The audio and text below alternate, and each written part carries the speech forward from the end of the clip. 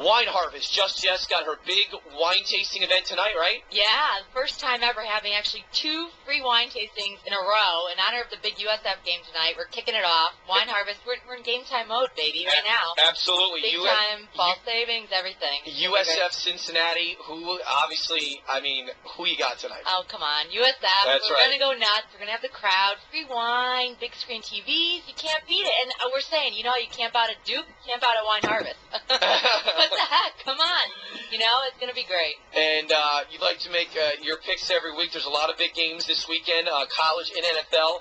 A, a big one, 3:30 Saturday, USC Notre Dame inside the uh, touchdown Jesus, the Golden Dome.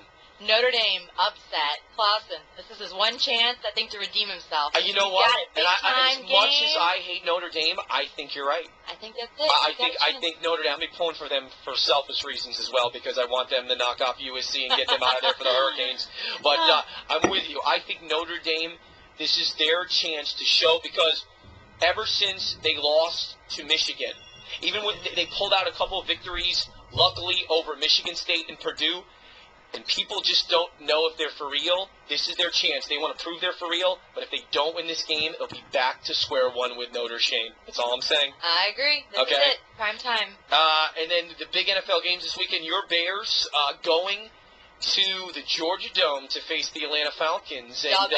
Jay Cutler versus Matt Ryan, two of the best young quarterbacks in the game. Cutler's on a roll. Ever since that uh, first game, that was kind of a uh-oh. Uh, they're kind of looking for revenge after last year. You know, they lost against them last year, so I think they're gonna they're gonna be out to win. Do you ever make any picks with your head and not your heart? No. Okay. Uh, Once I in a while. well, one.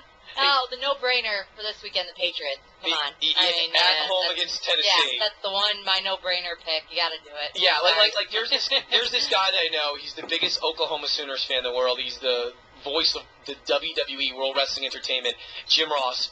And every time Oklahoma has a game, he picks Oklahoma. And like if Oklahoma was playing the New York Giants at Giant Stadium in the Meadowlands, he'd pick Oklahoma. And it's like dude, like that's why I when it comes to my teams, when it comes to games, I steer away from making predictions because usually if I open my mouth, I always end up putting my foot in it when it comes to predictions, so I stay away from it.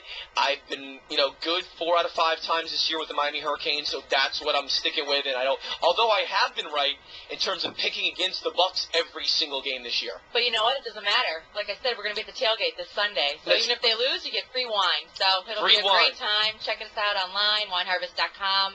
Big, huge discounts right now going on for the fall season. Free wine tasting, and you've got some wine harvest girls who are very hot that'll be there serving you guys No free wine on that. I can attest to that one, and you know the two very hot ones. Okay, uh, and they uh, will be serving wine, and they'll be at the southeast corner, Tampa Bay Boulevard, Himes Avenue, in front of the Purple House, ESPN 1040, Wine Harvest, Best Buy, Dick's Sporting Goods. Buffalo Wild Wings, eh, EA Sports, everybody. So definitely, just Jess, wineharvest.com. Thanks again for stopping by. Thank you. Anytime. Absolutely. Good luck to your Bears. Thank you to the uh, ESPN's college football analyst and the Bachelor, Jesse Palmer.